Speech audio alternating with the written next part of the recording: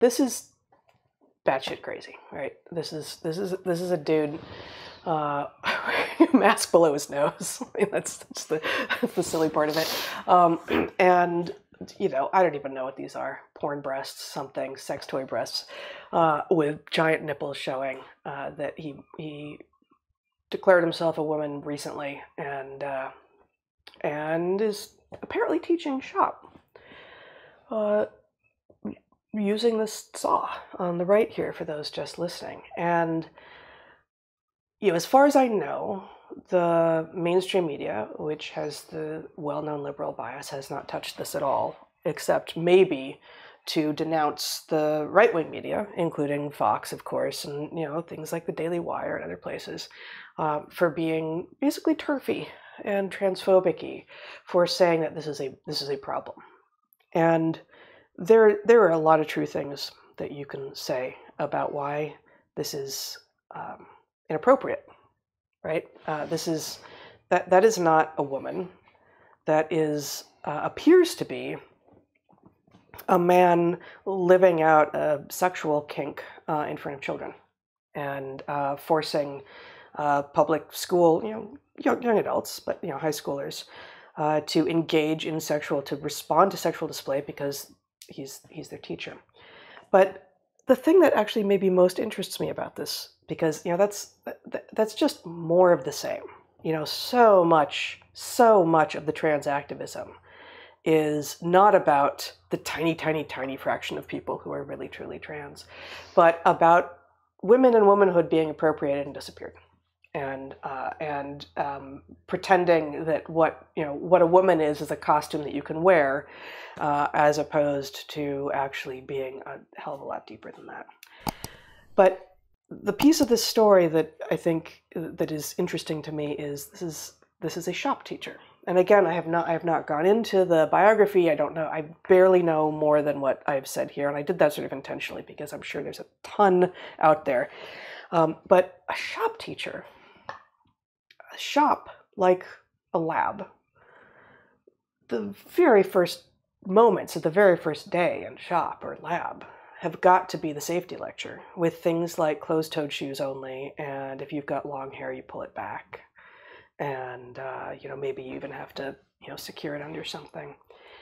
And not only is this guy wearing these crazy, ridiculous boobs, um, but he's also got this wig, I assume, uh, long flowing blonde tresses that are also not tied back as he's operating this uh, chop saw maybe? Miter saw. Miter saw. Um, and you know that's that's not what shop teachers do. And this makes me think this makes me hope that this is this is a big troll uh, that this is someone who is so done with the nonsense, with the DEI nonsense, with having your words policed and starting to have your thoughts policed and being told that all you have to do is uh, decide that you are the sex that you're not born to and suddenly you can get away with everything. Well, this person is going to put a just a grotesquerie, a clownish caricature of womanhood on, make it hypersexualized, with the you know with erect nipples and come to class and do this in front of, of students if it was an english teacher unfortunately I'd be like okay may, may, I'm, I know that there are English teachers this confused, but if this is a shop teacher who actually still has all of his digits or even is just missing a little bit of one or something, but learned the lesson of whatever happened, um, there's no way that this that this is for real. Well, wait a second. I need to ask you a question because it seems to me that this is clearly a troll, but it could be one of two different kinds. Okay. Right?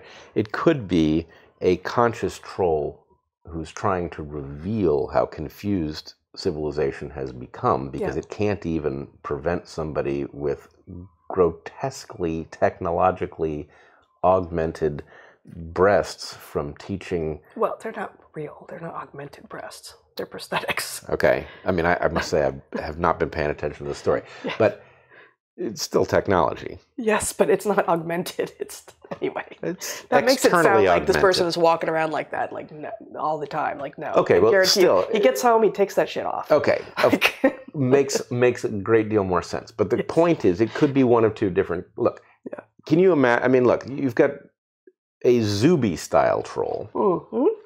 Right? Now, Zuby is what? a Yeah, person. Uh, I I I find him to be quite a wonderful, thoughtful person. And what he did, as, as somebody who is very serious about weightlifting, is he declared his, himself female and smashed the uh, female deadlifting record, and then went back to being a guy. Yep. And his basic point is look, the rules you have set up make this a completely legitimate phenomenon. I have now just become the weightliftingest female on earth, right? Because you've set up a system that is completely uh, open to being gamed by any man who wishes to do so, right? Okay, so that's a conscious troll that is well intentioned. The purpose is to reveal the idiocy of the of the truths that we are the so-called truths that we are now trafficking in, Right. right? It could also be one of these other kind of trolls who have decided, oh, you're going to declare transness sacred? Mm. I can do anything I want as long as I'm trans? Well, why not? And so you have these guys taking advantage of it, basically daring civilization uh, to call them out. Right, but if you have successfully been using power tools for your professional life, Yeah. and now you've donned gigantic balloons Yeah. In front of you, and you've got a wig on, and presumably they're both attached to you. So you know he slices the tip of one of those prostheses off. It's prob- presumably not going to hurt. He gets his hair caught in a saw that um, catches him and pulls him down. You know that that could be very dire indeed. These are just these these aren't reasonable shop practices. Of course not. Uh, uh, I'm, I'm not disagreeing with you that it's a troll. I'm trying to figure out whether you imagine that it is a well intentioned troll designed to reveal that we have all become very stupid around this issue, or it is a. Um, an ill-intentioned troll designed to take advantage. But I feel I think I just answered that question. There, if if this person has been a successful shop teacher, has been using these kinds of tools in his professional life for some number of years, he would not throw that level of understanding and safety out the window in order to pull a malicious prank. It's Well, I don't know, right? But I will say, okay, now I get your hypothesis, and it makes a prediction, Mhm. which is that he will reveal it, right. right? Um, if it's Yeah, well intentioned, know, it has to be you know, revealed. Yeah, re- revealed one. You know, it could be a lot of things. You know, maybe he, I, I I saw a letter, supposedly from the school. I don't know if it's legit. That says actually it would be illegal to not let her, you know, express her gender identity. Bull, but okay. Um, so you know, maybe the hope is that he gets fired, and then he can take it to court, and then you know you don't reveal it until you know it goes through the justice system, right? So I don't know. I'm just saying, like this, those those pictures, and they came out what a week and a half ago or something, are so preposterous. It seems like it has to be a fake. It's not a fake. I mean, the the, the boobs are fake, but you know, it's like this person really did show up in class, and some of the students really did take uh, covert photographs and video, and um, there is apparently um, protest by parents and some students outside the school now to you know make make him stop, right? And you know the the more of that the the more people who are pushed into oh my god I'm not I don't I don't want to be going out and protesting but I I have to because this is insane because that person is not a woman and my kid should not be forced to pretend that that is a woman and to see that and to have their the entire downstream the entire rest of their lives be affected by having had to be in class with that that's Yeah.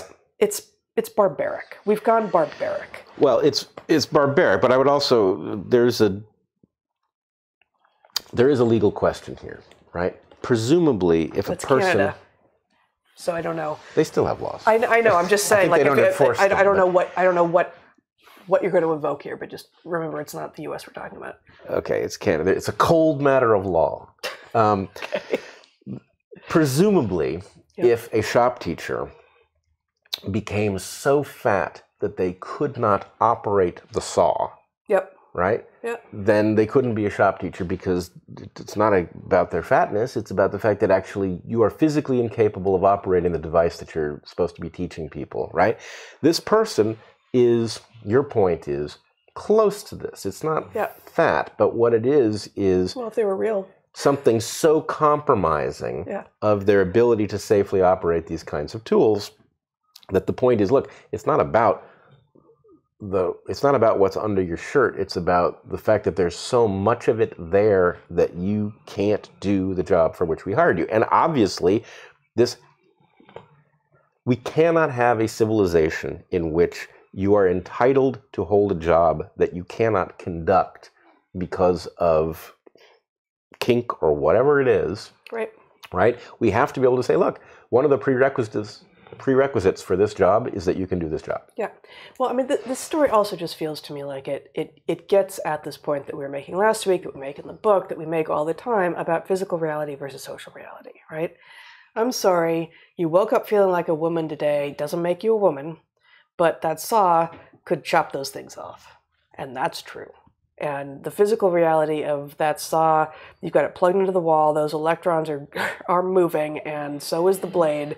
And I don't care how you feel, and neither does the saw. Like the physical the saw. reality is the physical reality. Yeah. the, saw is TERF. This- yeah, physical reality is a TERF for sure. All of it. Um, yes. Sorry, um, guys, but it is. Yeah, no, the, the, you're right, and it's interesting that this exists. If it is a conscious troll, I don't think it gets revealed after a court case. I don't think it, it should it go doesn't to go there. Yeah. Um, but uh, if it is a conscious troll, then you know it does successfully reveal that we've become so dumb that when somebody is actually going to put students in danger because they can't demonstrate the basic safety protocols for the equipment in question, right? That we still can't bar them from the classroom. Of course, we have to be able to do that. Right, but uh, I guess just even if it's not a conscious troll, it reveals that. It should. in, intention intention of the shop teacher doesn't change what the fact that the mainstream media the mainstream media's silence on this and therefore complicity reveals that we are just that dumb at this Yeah. point Yeah. regardless of what the intention of this insane behavior is and i just i'm i'm just hopeful i like i it just I, i've been thinking about this on and off since i first saw those insane pictures and went like god i just really hope this guy is in on his own thing Yeah, it, it's it's presumably better if he is. Yeah. Um, but I would point out that we have a dumb system in which, uh, you know, the race to get attention has certain exploitable loopholes. And the point is, if you want to take, uh, you know, a, a costume like that to the next level and create a social confusion as Yep. one team pretends not to notice and the other team becomes obsessed right that's a way to you know get to the But if he was gesticulating in front of those enormous breasts while talking about Chaucer, the it, it would it would be more muddled. Like how? Okay, you're still doing sexual display in front of children, and that's unacceptable. Um, but you're not. You know, Chaucer's at no risk here, right? yeah i mean chaucer would be hard to follow either way but yes, uh, I don't. I don't know if Chaucer is taught in high school. I, yeah, I certainly. oh it's Yeah.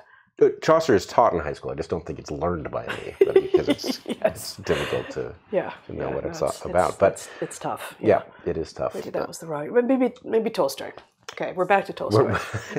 We've come full circle to War, Tolstoy. peace, war again. Yeah, yeah. No, war. War. That that was going to be the sequel. Yeah. No, it was war all along. It was war all along.